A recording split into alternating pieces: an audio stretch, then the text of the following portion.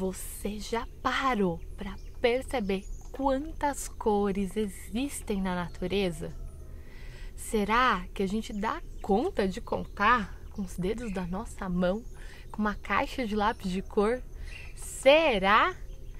Eu sou Ana Carol Tomé, idealizadora do Ser Criança Natural, e hoje eu tenho um convite para você. Vamos brincar? Música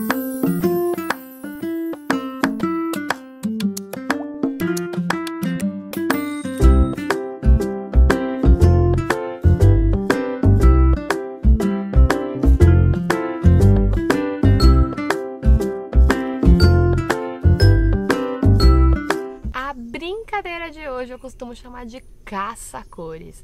Nós vamos ser verdadeiros caçadores de cores em meio à natureza. Eu tô aqui numa área natural, mas você com certeza pode fazer isso na sua casa, procurando nas plantas, nos insetos, nos animais que você encontrar por aí e até, é claro, no céu, no sol, nas nuvens. Que cores será que você vai encontrar por aí? Para essa brincadeira, eu costumo usar cartões coloridos.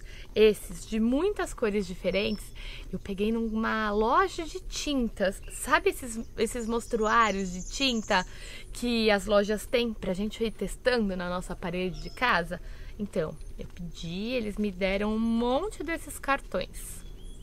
Os cartões coloridos você também pode fazer cortando pedaços coloridos de revistas, de jornal pegando outros pedaços de papel colorido que você encontrar aí na sua casa, ou até mesmo usando a sua caixa de lápis de cor.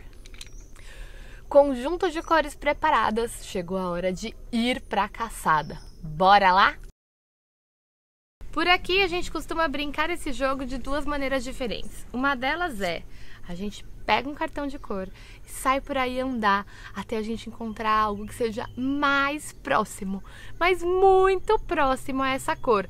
Que a gente, se a gente coloca do lado, se a gente coloca em cima, esse elemento ele quase desaparece. Outra forma de jogar é a gente sair por aí com todos os nossos cartões de cores e a gente ir tentando encontrar para num espaço e nesse espaço aqui, quantas dessas cores a gente vai encontrar?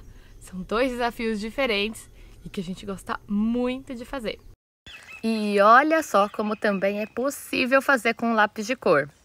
É a mesma coisa que os cartões. Separa seu punhado de lápis e sai pelo mundo procurando pelas cores. Uma outra dica é sempre que você for a uma praça, um parque, ou mesmo no quintal da sua casa, leve seu jogo de cartões. Você pode fazer um furinho aqui no, na ponta, passar uma argolinha e aí você faz como se fosse um chaveiro com as suas cartas. E aí é possível você levar para todo lugar que você for. Quantas cores dessas será que você vai achar pelo mundo? E essa brincadeira é ótima pra gente fazer numa trilha, numa unidade de conservação, mas também dá para fazer no quintal de casa, numa praça, num parque, pela janela, nos vasinhos que a gente tem em casa. Falando em casa, olha só quantas cores eu achei em apenas alguns vasinhos da minha casa e, claro, na minha batata doce quantas cores será que a gente vai achar perto da gente? Será que as cores da caixa do nosso lápis de cor vai dar conta de todas essas cores que a gente vai encontrar? Será que os nossos cartões de cores vão dar conta de todas as cores do mundo? Essa é uma brincadeira que faz parte dos encontros do Ser Criança Natural desde o começo. E olha só a criançada brincando, como a gente consegue encontrar uma, duas, três, muitas cores num mesmo elemento. Quanto mais a gente brinca, mais a gente vai refinando a nossa percepção, mais a gente vai ficando mais atento e, consequentemente, encontrando muito mais cores na natureza.